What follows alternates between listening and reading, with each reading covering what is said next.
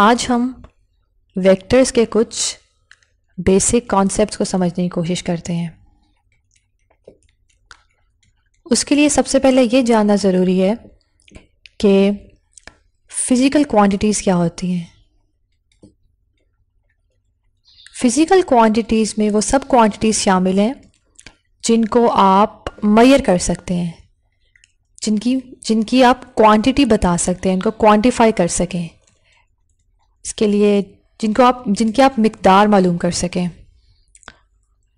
और physical quantities की two basic types हैं। एक स्केलर्स और वेक्टर्स अब स्केलर्स में वो सब फ़िज़िकल क्वांटिटीज़ शामिल हैं, जिनको अपनी कंप्लीट डिस्क्रिप्शन के लिए एक नंबर और एक यूनिट की ज़रूरत होती है। फॉर एग्ज़ाम्पल मैं आपसे पूछती हूँ कि किसी भी जगह का पर्टिकुलर इलाके का टेम्परेचर क्या है? तो आप मुझे बताएँ 25 डिग्री सी या मैं आपसे पूछूँ कि टाइम क्या हुआ है? 3:30 पीएम फॉर एग्जांपल तो ये वो क्वांटिटीज़ हैं जिनको आप डिस्क्राइब करते हैं एक नंबर से और एक यूनिट से. और नंबर प्लस यूनिट को हम कहते हैं मैग्नीट्यूड दूसरी स्केलर क्वांटिटीज़ की एग्जांपल्स में स्पीड शामिल है. डिस्टेंस लेंथ मैस एक्सेट्रा ये सब वो क्वांटिटीज़ हैं जिनको सिर्फ़ एक मैग्नीट्यूड चाहिए होता है, एक नंबर और एक यूनिट चाहिए होता है कंप्लीटली डिस्क्राइब करने के लिए। और दूसरी तरफ़ वेक्टर वो क्वांटिटीज़ हैं जिनको एक नंबर एक यूनिट और डायरेक्शन की ज़रूरत होती है। सिम्थ की ज़रूरत होती है। किसी भी वेक्टर को डिस्क्राइब करने के लिए आपको ये बताना पड़ता है कि वो किस डायरेक्शन में है। मिसाल के तौर पर ये एक दरवाज़ा है। अगर मुझे इस पर फोर्स लगानी है तो मेरे पास मल्टीपल डायरेक्शंस हैं। कि किसी भी तरफ़ से मैं इस पर फोर्स लगा लूँ। मैं इस तरफ़ से इस पर फोर्स लगा सकती हूँ अपवर्ड्स डाउनवर्ड्स पोश पुल एक्सेट्रा बहुत सारी डायरेक्शंस हैं। तो अगर मुझे 25 न्यूटन फॉर एग्जांपल फोर्स लगानी है तो मुझे ये भी बताना पड़ेगा कि वो किस डायरेक्शन में है। फॉर एग्ज़ाम्पल अपवर्ड्स तो एक नंबर एक यूनिट जिसको हम मैग्नीट्यूड बोलते हैं, और एक डायरेक्शन तीन चीज़ें कंप्लीटली डिस्क्राइब करती हैं एक वेक्टर को. इसी तरह आप एक जगह से दूसरी जगह जाएँ. 25 मीटर्स पर सेकंड के साथ, ये आपकी स्पीड है. लेकिन अगर मैं आपसे पूछूँ कि आपकी वेलोसिटी क्या है तो आपको डायरेक्शन भी देना पड़ेगी. 25 metres per second north east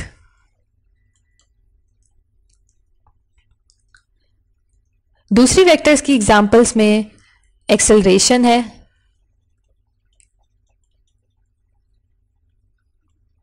displacement है, जिसमें आप डिस्टेंस विद डायरेक्शन बताते हैं। और दूसरे एग्जांपल्स हैं। वेक्टर को ग्राफिकली हम रिप्रेजेंट करते हैं एक स्ट्रेट लाइन से और एक एरोहेड से। ये स्ट्रेट लाइन इसका स्टार्टिंग पॉइंट और एंडिंग पॉइंट किसी भी सूटेबल स्केल के अकॉर्डिंग ये लाइन जो है, ये हमें मैग्नीट्यूड ऑफ़ द वेक्टर बताती है। और ये एरोहेड जो है, ये डायरेक्शन स्पेसिफाई करता है। सिम्थ बताता है वेक्टर ये किस सिम्थ में वेक्टर वेक्टर ये क्या डायरेक्शन है? और लिखने के लिए हम वेक्टर को या बोर्ड लेटर में लिखते हैं। इसको थोड़ा सा मोटा करके, या हम उसके ऊपर एक एरोहेड डालते हैं, या उसके नीचे एक एरोहेड डाल देते हैं। इसको हम कहते हैं रिप्रेजेंटेशन ऑफ़ वेक्टर अब हम देखते हैं कि रेक्टेंगुलर कोऑर्डिनेट सिस्टम क्या होता है।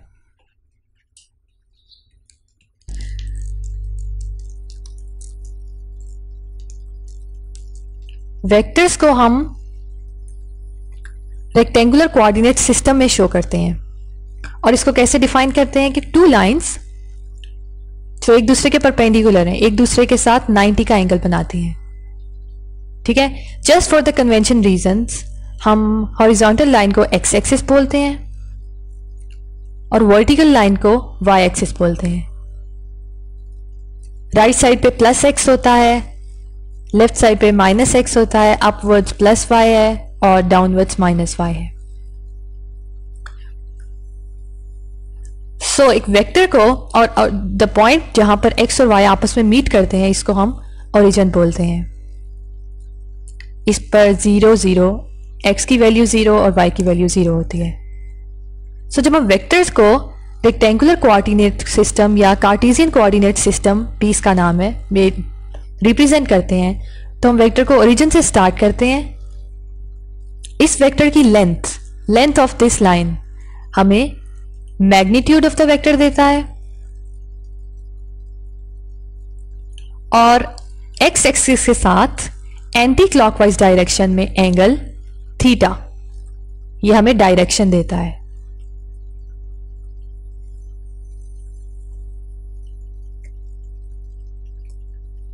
Angle in anti-clockwise direction with x-axis. Just for the convention reasons. इस लाइन को, ये जो लाइन है, हम वेक्टर की रिप्रेजेंटेटिव लाइन बोलते हैं। एक लाइन जो वेक्टर को रिप्रेजेंट कर रही हो।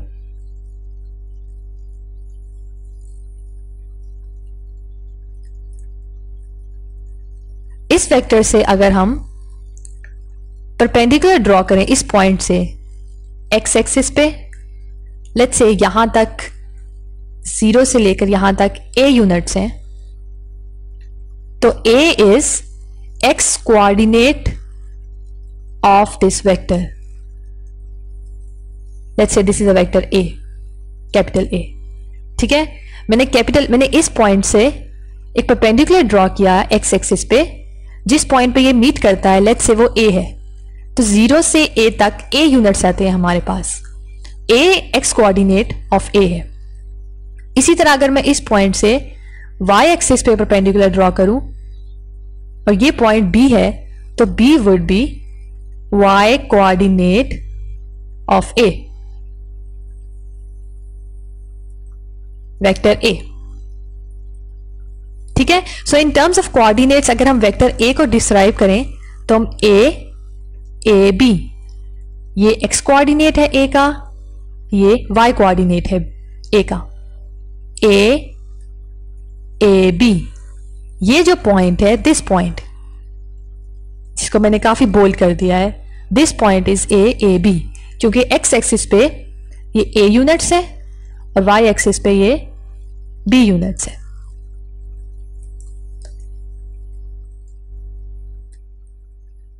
इसकी हम एग्ज़ाम्पल लेते हैं एक।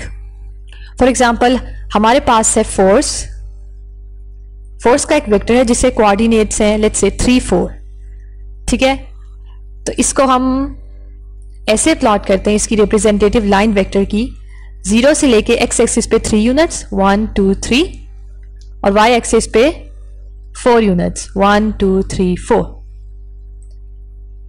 ये दो लाइंस आपस में जहाँ मीट करती हैं ये वो पॉइंट है एफ़ थ्री फोर इसको अगर हम ओरिजिन से ज्वाइन करें एक स्ट्रेट लाइन से तो ये हमारे पास फोर्स का वेक्टर आ जाता है। और इसकी डायरेक्शन थीटा हम एक्स और वाई कोऑर्डिनेट से निकाल सकते हैं, जिसके बारे में हम डिटेल में नेक्स्ट टॉपिक पे बात करेंगे। इस तरह की रिप्रेजेंटेशन को हम कहते हैं कि वेक्टर को हम रेक्टेंगुलर या कोऑर्डिनेट या कार्टेशियन कोऑर्डिनेट सिस्टम में डिस्क्राइब कर रहे हैं।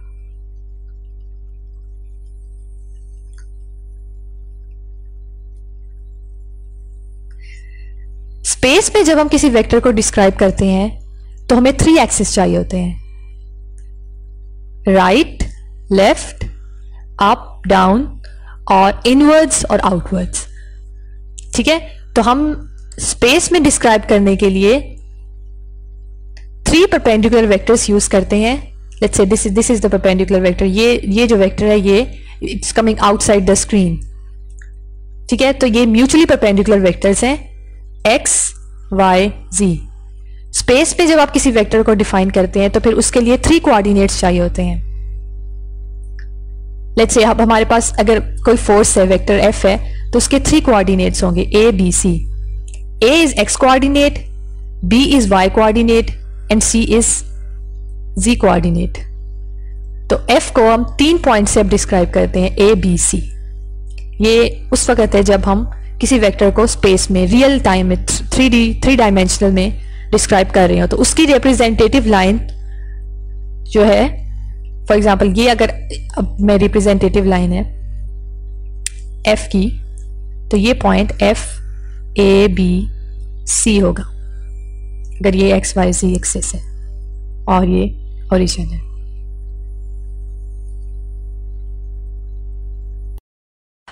अब हम जो प्रॉपर्टी डिस्कस करेंगे वेक्टर्स की, वो है एडिशन ऑफ़ वेक्टर्स यानी आपको अगर दो वेक्टर्स गिवन हो तो उनको आपस में ऐड कैसे करते हैं? तो एडिशन ऑफ़ वेक्टर्स एक सिंपल रूल फॉलो करती है, जिसे कहते हैं head to tail rule for example हमारे पास दो वेक्टर्स हैं। ये ए है, ये बी है। और इन दोनों को ऐड करना है। हमें ए प्लस बी फाइंड करना है। तो हेड टू टेल के कुछ स्टेप है। फ़र्स्ट स्टेप इज़ के draw representative line of A अब रिप्रेजेंटेटिव लाइन हमने पहले डिस्कस किया कि वेक्टर्स को हम रिप्रेजेंट करते हैं रेक्टेंगुलर और कार्टेजियन कोऑर्डिनेट सिस्टम में। और जिस लाइन से रिप्रेजेंट करते हैं वो उनकी रिप्रेजेंटेटिव लाइन होती है। सो so, ये एक्स है दिस इज़ वाई ये ओरिजिन है। ए की रिप्रेजेंटेटिव लाइन वो लाइन है जो ए को हम ओरिजिन से स्टार्ट करके सेम डायरेक्शन और सेम लेंथ में रखते हुए यहाँ ड्रॉ करें। ये ए सो so, ये रिप्रेजेंटेटिव लाइन ऑफ़ ए हमने ड्रॉ कर ली। ठीक है? सेकेंड स्टेप है ड्रॉ बी बी की रिप्रेजेंटेटिव लाइन ऐसे ड्रॉ करनी है सच दैट ऑफ़ बी को coincides with head of A so B की रिप्रेजेंटेटिव लाइन आपने ऐसे ड्रॉ करनी है कि बी की टेल ये बी की टेल है, और ए का हेड ये आपस में कोइंसाइड करें।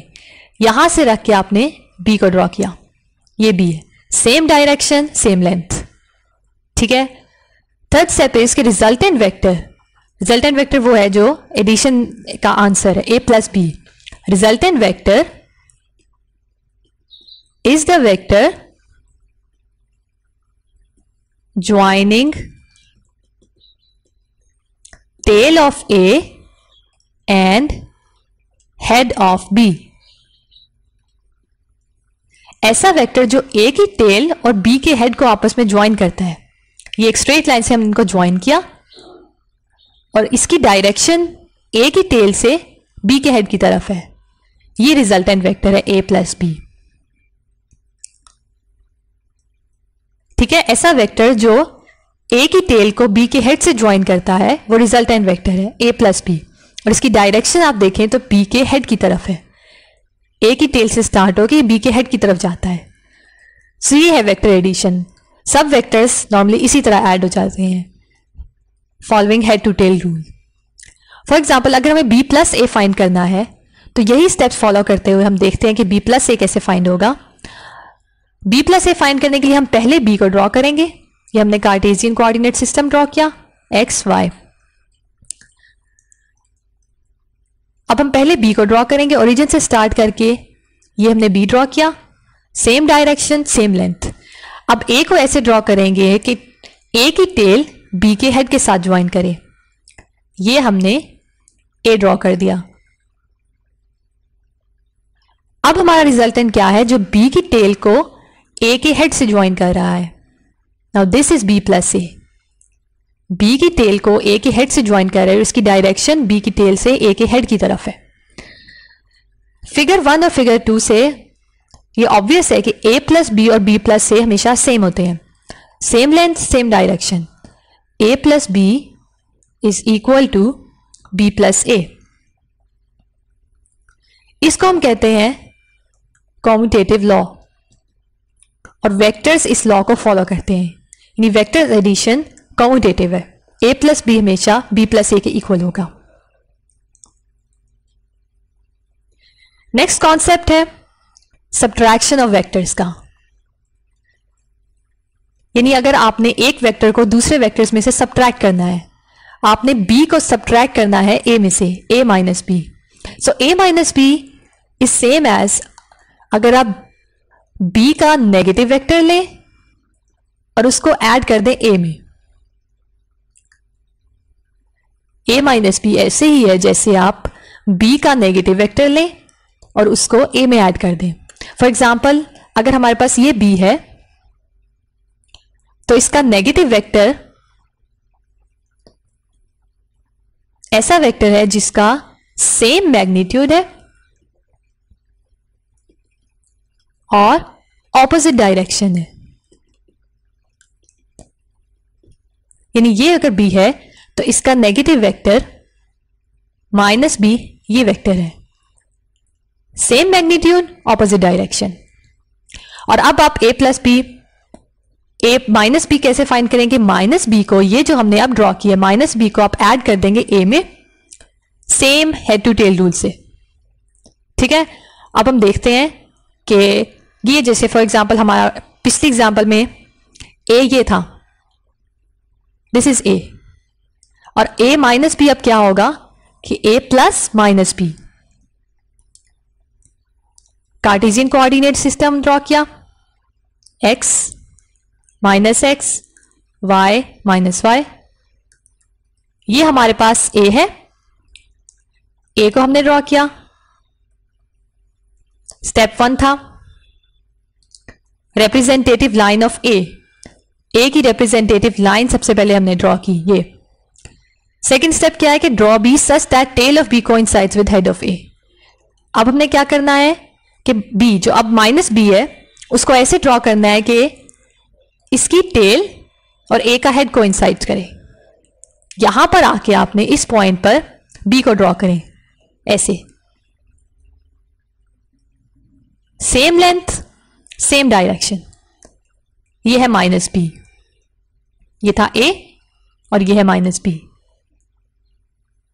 ठीक है? और थर्ड स्टेप क्या था कि जो रिजल्टेंट वेक्टर है, वो ऐसा वेक्टर है जो टेल ऑफ़ ए और हेड ऑफ़ बी को ज्वाइन करता है। सो टेल ऑफ़ ए और हेड ऑफ़ बी ये वेक्टर ये है हमारे पास ए माइनस बी या ए प्लस माइनस बी ये हमारा रिजल्टेंट वेक्टर है। इसको हम कहते हैं सब्ट्रैक्शन ऑफ़ वेक्टर एक वेक्टर का नेगेटिव लेके दूसरे वेक्टर में ऐड कर देते हैं। जिस वेक्टर को आपने एक दूसरे वेक्टर से सब्ट्रैक्ट करना है, उसका नेगेटिव लेके पहले वेक्टर में ऐड कर दे। लास्ट कॉन्सेप्ट जो आज हम देखेंगे, वो है मल्टीप्लीकेशन ऑफ़ वेक्टर अब एक वेक्टर को आप मल्टीप्लाई कर सकते हैं, या तो एक पॉजिटिव नंबर से, या एक नेगेटिव नंबर से, या एक फ़िज़िकल क्वांटिटी से। और फ़िज़िकल क्वांटिटी जो हमने बहुत लेक्चर के बिल्कुल स्टार्ट में डिस्कस किया था, एक स्केलर हो सकती है या एक वेक्टर हो सकती है। अब जब आप एक पॉजिटिव नंबर से एक वेक्टर को मल्टीप्लाई करते हैं फॉर एग्ज़ाम्पल एन एक नंबर है और ए एक वेक्टर है, ये तो पॉजिटिव पॉजिटिव नंबर से मल्टीप्लाई करने का मतलब है सेम डायरेक्शन और N times magnitude. For example अगर ये ए है, ये ए था तो टू ए क्या होगा? एक ऐसा वेक्टर जिसका मैग्नीट्यूड ट्वाइस है ए से। ए से दो गुना है। ठीक है? ये टू ए है हमारे पास। इसी तरह थ्री ए क्या होगा? एक ऐसा वेक्टर जिसका मैग्नीट्यूड ए से तीन गुना है। ये थ्री ए है। जब हम एक नेगेटिव नंबर से मल्टीप्लाई करते हैं ए को तो क्या होता है? एन टाइम्स मैग्नीट्यूड और ऑपोजिट डायरेक्शन